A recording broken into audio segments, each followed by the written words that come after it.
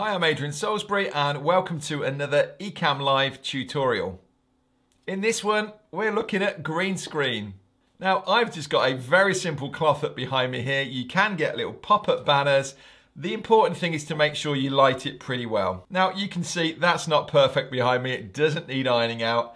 Uh, but let's have a look in the screen here. So all I do is I come over here into my camera effects area and uh, I can tick on green screen. And uh, there is if you're finding it's not working very well there is this fade level and the further you push it the more it will kind of take the edges off. But there is a point there I'm at about 70 where it seems to be working well for me.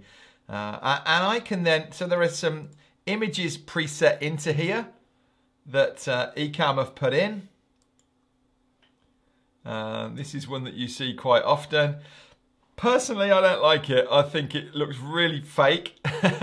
um, I, I, wouldn't suggest this as a solution, but um, some people love it. Now, I used green screen recently in my YouTube Academy, and it worked really well when, firstly, I was having a bit of a fun. We called it a summer camp, so I'd got some images behind me of different camp scenes. And let me just show you how easy it was to pull those images in. I literally, I'm not dropping them up onto the window here because um, that brings them in as a photo, but rather I'm going to drag them over onto my camera effects area. I drop it on there, and there's my picture and it's full screen sitting behind me.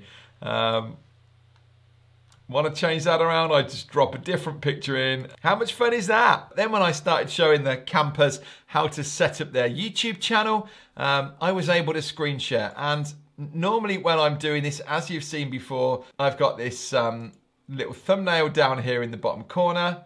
Now, if I change this over to the wide version, so I'm in here, uh, I can put this on here and instead of having that office, I can say transparent picture in picture. And all of a sudden, look, there's me sitting here um, in front of my screen. And actually what I did as well, because when I point to my left, it goes off to the screen's right. Uh, I scrolled down here and I mirrored it so that when I'm pointing left, it goes off up to the left.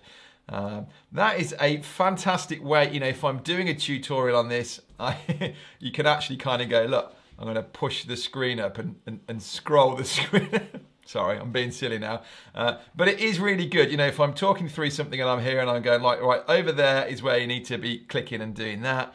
Uh, it's just a nice way to do a screen share and um, bring myself into it without me being there, uh, you know, sitting like this, taking up a good chunk of the screen. So yeah, that's green screen. That's how you can use it. If you don't want transparent, let's go back to, let's go back to just me on here. Uh, the other thing that's another option on here is this blurring the background so it looks, does it look a little bit better? I don't know.